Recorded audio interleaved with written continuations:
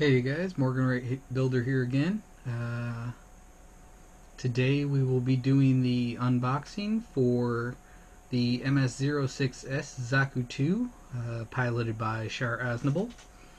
Uh, this will be my first Zaku frame, I guess is the best way to put it. Uh, I built a couple other no grade mono eyes. This will be my first master grade mono eye for sure.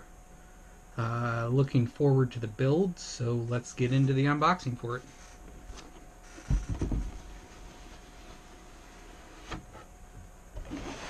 So, as usual, uh, one of the first things in is a set of decals.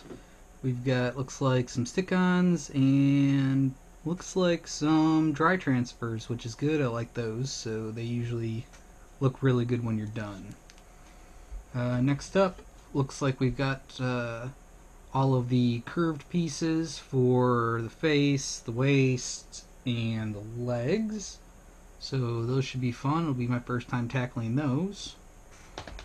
Uh, next out, we've got looks like clear pieces, some uh, detail pieces for the knees, uh, most of the dark red armor pieces, and it looks like a couple of clear pieces used for the mono eye and I don't know what else. Next out it's going to be all inner frame pieces, shoulders, legs, backpack, waist, stuff like that. Next one up is going to be, looks like some more inner frame. Uh, looks like the hip area, maybe front and back of the waist a bunch of other stuff for that. Move on to the next riser. Looks like this one's got weapons parts, including the Heat Hawk, which uh, should be interesting. Uh, it'll be my first kit with a Heat Hawk, though it looks like it's pretty much already put together. So. Uh, next up looks like uh, Bought uh, the underside piece for one of the shoulders, more internal framing. Uh, it looks like that's probably about it. Looks like fingers for the hands, at least some of the parts for the hands. Next out, we're going to get the small riser, the bright red, for looks like probably the backpack, I'm guessing. Yeah, looks like the backpack, so it's that at some point. Uh, your typical joint riser, so all your P, PC, whatever P they decide to name it for that set. Uh, some of the lighter red, aka definitely looks pink. Uh, parts for the armor. Uh, looks like along with the fin for the head, and it looks like they actually may have given me two of them, which is kind of a nice thing unless I'm missing one somewhere else on the model, which is always possible as well. Uh, another riser full of pink pieces. Looks like more outside armor, legs, maybe a little bit of arms. Another set of pink, looks like outside armor, arms more than anything. Maybe the backings for the hands and the wrists. Uh, two springs. Not sure where those go yet, but that'll be interesting. I've never used a spring in a kit before. Uh, another riser full of pink pieces, so more outside armor, knees, legs, feet, whatever they are. And the last one in the box will be, looks like the rest of the framework for the legs, uh, and the rest of the internal. So, got that.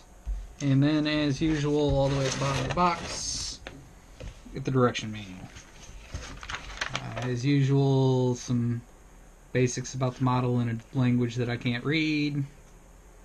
Uh, looks like along with an entire listing of the different Zaku models. Uh, riser list along with anything you won't use being marked X. Uh, setup kind of giving you a few of the basic directions on how to apply the decals, what to cut, where to cut, uh, the entire layout of what comes in the kits. Then moving into, hey, build the kits, hey, build the kits. Nice big uh, color centerfold with the painting options, some posing options. Uh, good way of looking at some of it. It's kind of neat. More into building and more building.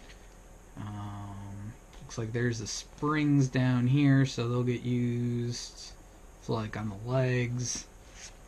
Uh, more building. That's kind of new. There's a fold out. Um, then building the little lift truck that comes with it.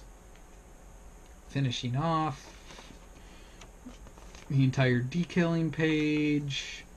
And just a nice standing back cover. So hopefully I'll uh, get into the model pretty quick and be getting a completion review sometime soon. I'm not sure. I may do a uh, may do a review of uh, another kit before I get into the completion review on this one. Just something I've already built, but uh, we'll see where it goes. And until next time, uh, if you haven't clicked the subscribe button, please do. If you have, thanks for watching. Uh, and Morgan Rate Builder, checking out.